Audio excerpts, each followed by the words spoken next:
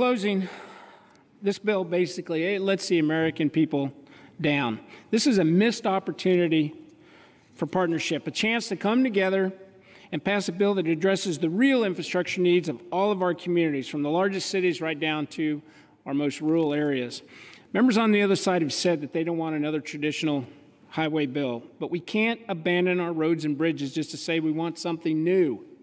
Our core infrastructure has become traditional because Americans depend on it to work and to, to travel and to live.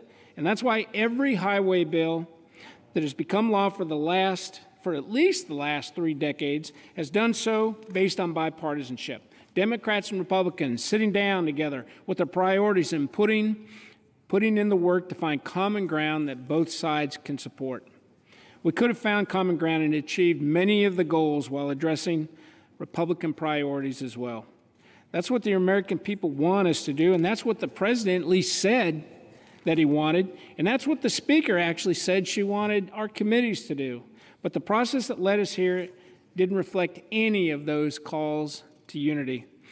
What's even more frustrating is that we did have a bipartisan agreement in place, at least part of it, ready to take up again, and that was the wastewater section of this bill. But the majority, again, blatantly rejected the chance to work together on another infrastructure issue that has been and should continue to be bipartisan.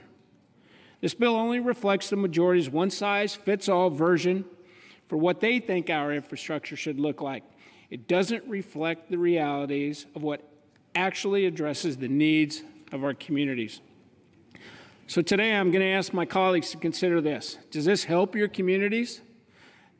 Do you consider art to be infrastructure? Do you feel good about spending $550 billion on a highway bill that restricts communities from building highways?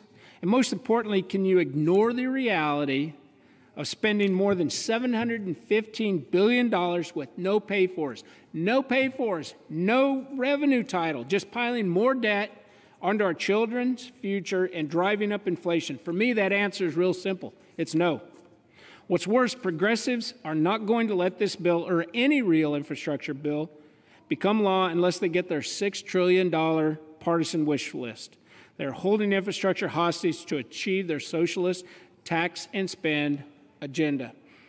Madam Speaker, I would urge my colleagues to oppose this bill and the majority's partisan process, and with that, I yield back.